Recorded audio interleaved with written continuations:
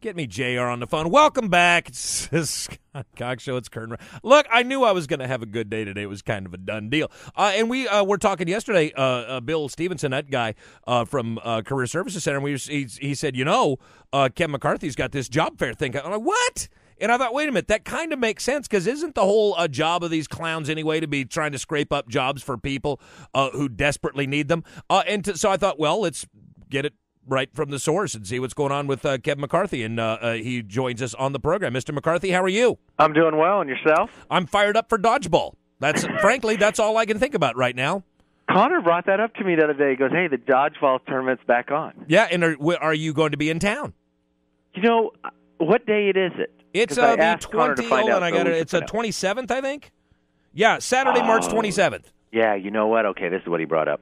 Yeah, so I'm you're. in town, but I've got Karl Rove in town doing an event for my reelection campaign. I'm sorry, what was that? I couldn't hear you over the sound of the chickens clucking. Karl Rove, really? Yeah. That's it? You're blowing off the Boys and Girls Club for that guy? No, no, I'm still hosting a team, and Connor is going to go Hosting down there, a and team? his buddies are going to play again. Oh, that's disappointing. But it depends what time because it's uh, mine's a lunch. Right. You know, if I started off early and got kicked out of the game early, then I'd Uh, be all you know that's I might be able happen. to get one game in. Unless you buy off the Boys and Girls Club like you did last time to keep your uh, keep out of my bracket so that we don't knock you out early. However that works out. Well, we we should have okay. We should think of some type of fundraiser for Boys and Girls Club that your team plays my team first, and Right. People can I don't know somehow get, they can get people can gamble on it or that out. something, and we'll give away a I don't know, and all the proceeds will go to the Boys and Girls Club. We've been Yeah. saying that. For, I'll, well, we'll actually have- have to sit down and figure this You out. You know what? We should put an all-star team together. Your team and my my team's team. already an All Star team. Well, okay, and I'll go out and get some others. That's like uh, saying the 27 Yankees. Well, how many of them made the All Star team? They were the All Star team. Okay, well let's try to do that. That would be All a good idea. Yeah, I'm down. Anything to help the Boys and Girls Club. and as you know, I just I just like playing dodgeball because I'm essentially a giant child. I love dodgeball. Oh, don't I? Don't I'm I? not good at it, but I like playing it. Uh, you know what? Again, My son I, and nephew are so much better. there's nothing because politicians lie all the time, and I could just to straighten, the, just to level the the ledger here. You're actually a pretty good dodgeball player, dude.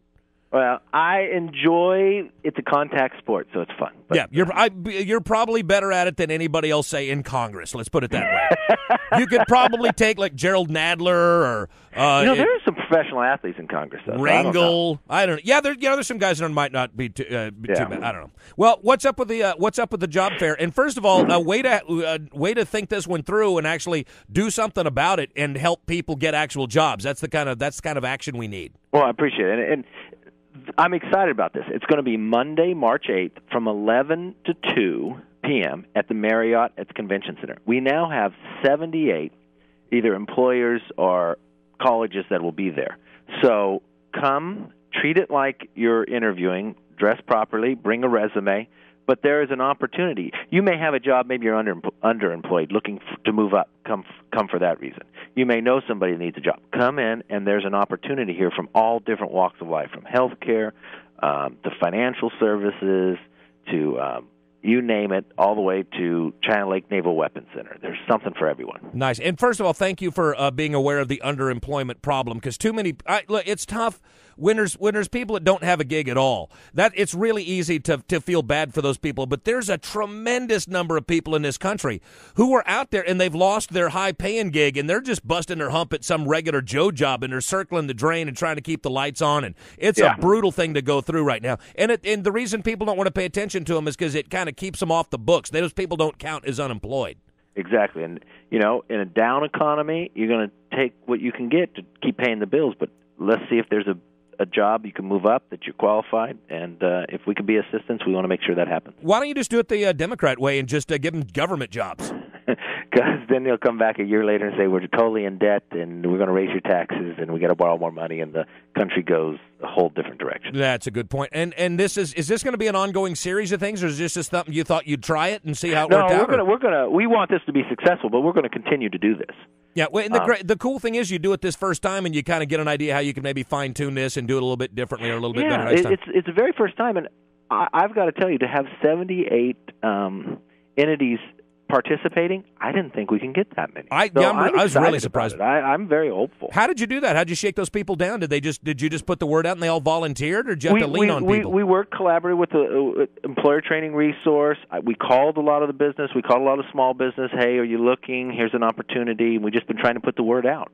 well, it's if you got seventy eight people there, and what's the what's the college angle on this? Is their deal to like get well, people I've got get a couple different. What happens too is somebody may be applying for a job. Maybe they're underemployed, uh. Maybe they need a little more training.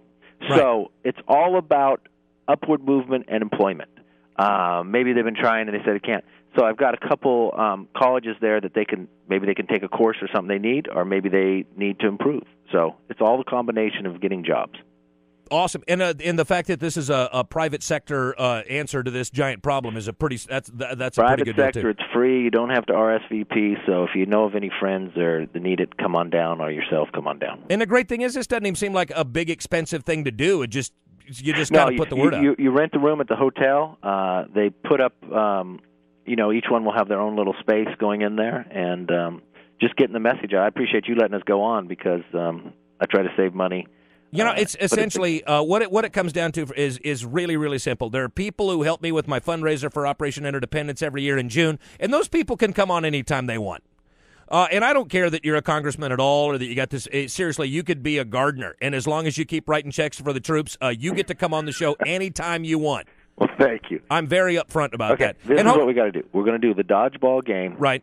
and let's make some award, and we'll make it an annual thing. All right, so done. It's a continual one to see how many times I win it, and it'll be marked. I'll tell you right now, none, never. It's not gonna. I'm just. I mean, I don't want to be a bad guy about this, but you I, have you seen my crack squadron of, of dodgeball troops? It's, it's we're unbeatable, dude. I I haven't seen you win. How far did you go last year? I now, mean, why do wasn't you have there, to bring my that up? went How does that I mean, relevant to the con? Well, we didn't win. We won like uh, Stephen. How many rounds did we get through? Four or five or something like that? Yep, we almost won. Yeah, we laid a we Oh, laid. well, you, you went further. I think we only went to the third round or whatever. You know what happened last year? I don't know if you're aware of this or not. There was actually a professional team from San Diego that came up. Um, uh, because, I'm not joking. There are people at there are big tournaments all over the country where these guys play and train and do the whole deal, and, and they didn't know it was just a, a boys and girls club fundraiser. They thought it was an actual So they tournament. just gave it, took everybody out. oh, they just wasted every. It was uh, they were they were quite something.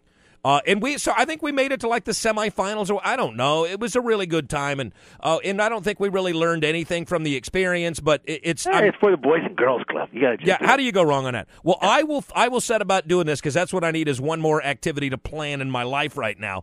Um, and I'll get and we'll figure out a way to do this. And like I said, and we'll turn it into like a big annual event. We'll make it bigger and better every year. How about that? Sounds great. All right, my friend. Well, uh, thanks for checking. And seriously, uh, Monday the eighth at the Marriott. What time is this thing going on? From 11 to 2 p.m.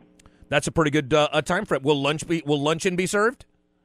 You know, you raised a very good question. I'm just saying, eleven to two. I'm gonna be hungies in there somewhere. Somebody's got to hook me up. That's right, but uh, I, I don't know about that. What you're supposed to say, uh, just here's a little uh, radio talk radio training for you. You're supposed to say, uh, you know, being conservatives, we are looking for ways to cut costs anywhere we can, and one of those is in wasteful food spending. That's right. So they can go right in there to the restaurant. Yeah, take and, notes. and, and spur the economy. All right, K Mac, thank you. So that's uh, uh, Congressman Kevin. Kevin, thanks for All checking right. in with us today, and I'll, well, I'll swing by that thing after work on Monday. Are you going to attend that thing personally? Yeah, no, I'll be there personally. Oh, nothing. I'll come by and just out of nowhere, just hit you in the face with a dodgeball, All right. just as a preparatory measure. Kevin, thanks for checking in with us today, pal. I appreciate it. Uh, you know what the great thing is? He knows I'm not kidding. He knows I'll do it. In fact, uh, Stephen, don't tell anybody we're doing this, but we need to get a, two or three people together. And when Bill Stevenson comes in uh, on Wednesday, we need to have some people waiting for him right outside the door so that when he walks out, they just blast him with dodgeballs. You know what I mean?